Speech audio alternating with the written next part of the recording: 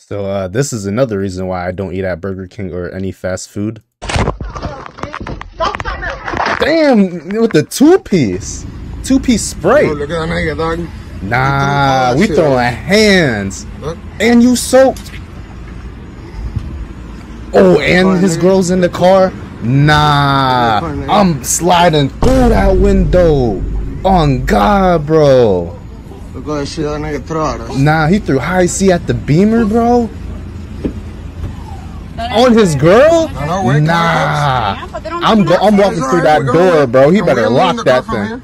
Sticky ass chairs now. Have to pay us. Yeah, he got that bag, bro. What the what set that dude off to get that address? mad?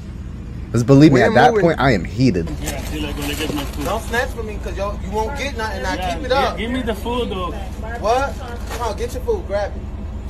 This guy's a clown. You're an asshole. You're, You're the an asshole, yes. You're an fucking asshole. Bye, asshole. You're an Bye. I hope your asshole. food cold. I hope your food's cold. he definitely spit in that shit, bro. Drop that shit on the floor. Shit. What would you guys do in this situation?